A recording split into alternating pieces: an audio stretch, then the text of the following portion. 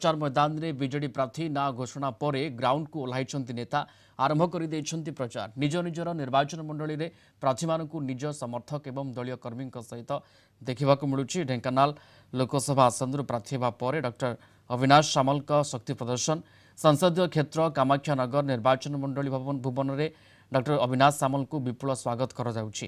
ପ୍ରଥମେ ନୀଳକଣ୍ଠପୁର ଗାଁରେ ଥିବା ବୀର ବାଜିରାଉତ ପ୍ରତିମୂର୍ତ୍ତିରେ ମାଲ୍ୟାର୍ପଣ କରିଥିଲେ ପରେ ଭୁବନରେ ଆୟୋଜିତ ସ୍ୱାଗତ ସମ୍ବର୍ଦ୍ଧନା ଉତ୍ସବରେ ଯୋଗଦାନ କରିଥିଲେ। ଏହି ଉତ୍ସବରେ ବହୁ ବିଜେଡି ନେତା ସରପଞ୍ଚ ସମିତି ସଭ୍ୟ ଜିଲ୍ଲା ପରିଷଦ ଏବଂ ଶତାଧିକ ବିଜେଡି କର୍ମୀ ଉପସ୍ଥିତ ରହିଥିଲେ। ହିନ୍ଦୋଲ ନିର୍ବାଚନ ମଣ୍ଡଳୀର ଗଦାଶଳା ଗାଁରେ ବିପୁଳ ଉତ୍ସାହର ସହିତ ଶୋଭାଯାତ୍ରା କରି ସ୍ୱାଗତ କରାଯାଇଥିଲା। ପରେ ଗ୍ରାମ ନିକଟ ରାମ ମନ୍ଦିର ବାର୍ଷିକ ଉତ୍ସବରେ ଯୋଗଦାନ କରି ଠାକୁରଙ୍କ ଆଶୀର୍ବାଦ କାମନା କରିଥିଲେ।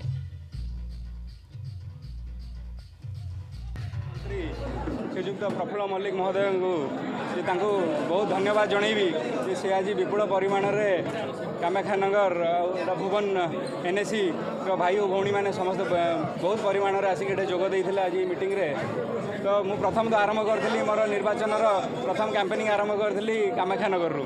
ତ ମନ୍ତ୍ରୀଙ୍କର ନିର୍ଦ୍ଦେଶକ କ୍ରମେ ଆଉ ତାଙ୍କ ସହିତ ମିଶିକି ଚଳିବୁ ବୋଲି ମିଶିକି ଏଇ ଲଢ଼େଇଟି ଲଢ଼ିବୁ ସେଇଆ ହେଉଛି ଆଗକୁ ଆମର ପ୍ଲାନିଂ